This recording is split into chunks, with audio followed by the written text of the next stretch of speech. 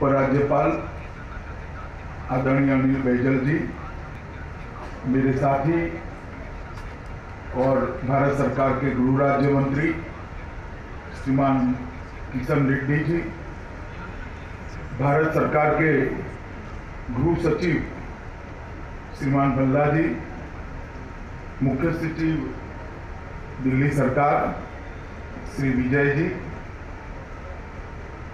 जिनके प्रयास से और इनिशिएटिव के कारण आज नए भवन की कल्पना साकार हुई है।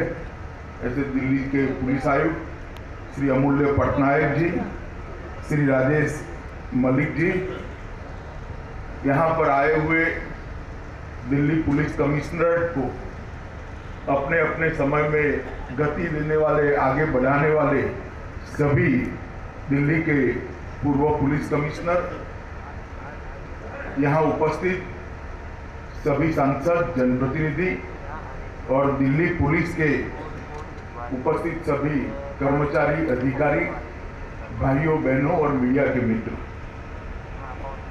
सबसे पहले तो मैं आज दिल्ली पुलिस की कमिश्नर से लेकर नीचे तक की पूरी टीम को हृदय से बधाई देना चाहता हूँ।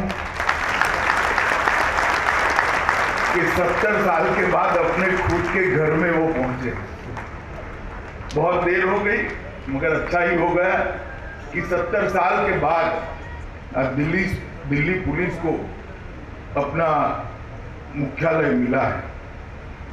और मेरे लिए भी सौभाग्य का विषय है कि जिस दिल्ली पुलिस का इतिहास बड़ा समृद्ध है बलिदानों से भी समृद्ध है, कर्तृत्व से भी समृद्ध है और सुरक्षा के क्षेत्र में भी समृद्ध है। देश भर की पुलिस में, पुलिस बलों में दिल्ली पुलिस को एक अलग दृष्टि से देखा जाता है। उसके मुख्यालय का उद्घाटन आज मेरे हाथों से हो रहा है। ये मेरे लिए भी सौभाग्य का विषय और उद्घाटन ऐसे दिन पर हो रहा है जिस दिन को हम सब देश में एकता दिवस के रूप से मनाते हैं। देश के प्रथम गृह मंत्री और लोह पुरुष सरदार पटेल की आज जन्म जयंती और सरदार साहब की जन्म जयंती से और कौन सा दिन उपयुक्त हो सकता है, किसी भी पुलिस मुख्यालय के उद्घाटन के लिए। तो इसलिए मैं आज दिल्ली पुलिस कमिश्नर को इसलिए भी बधाई देना चाहता हूँ कि इन्होंने बड़े अच्छे दिन का चयन किया है।